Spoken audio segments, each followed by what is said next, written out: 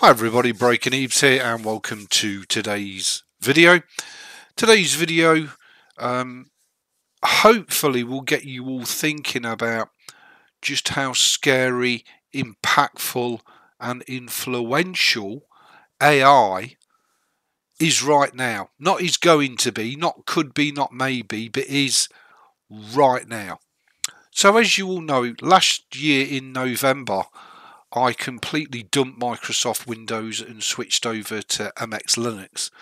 I personally have never looked back.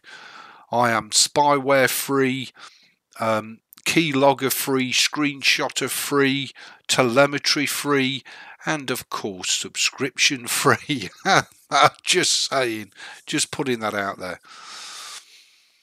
But if any of you have got any misgivings or you don't really give a shit about AI, just to the depth and gravity of how AI is going to impact your everyday life, let alone be included in an operating system.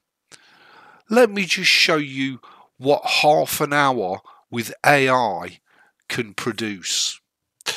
So, this is all created by me, none of it is real, and it's all just a bit of fun. Okay. However, what this demonstrates is somebody with absolutely no artistic ability, um, no creative ability whatsoever, and the brain IQ capacity of a spaz can create. I could, along with these images, create any headline that my heart desires. And I can put out there in the world out and out lies and fake news that would set new standards in unreality. And you guys and girls are going to accept that Windows is going to come with these abilities inbuilt out of the box. What are we going to need humans for? Just saying. If you chose to be a graphic artist, well, sucks to be you. If you chose to work in a call centre, sucks to be you. If you chose to be a train driver or a pilot, sucks to be you. In fact, it sucks to be just about anything you can think of, maybe with the exception of a nurse. I can't think of too many other professions that AI can't do the job better. All these images that you're seeing here flashing up on the screen are created with the help of AI, and some of them are so photorealistic they would be almost indistinguishable from reality. All made via AI.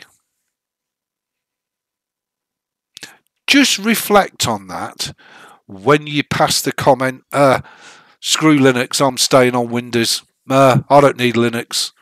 Windows is, is much better.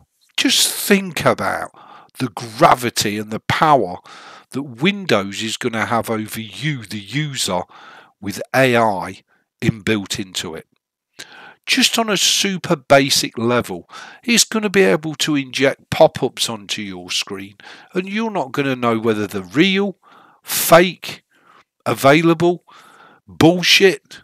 You're not going to know. More importantly, are you even going to care?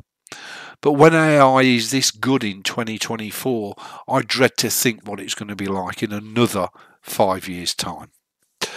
Thanks for watching. Please rate, comment, subscribe, thumb the videos up or down.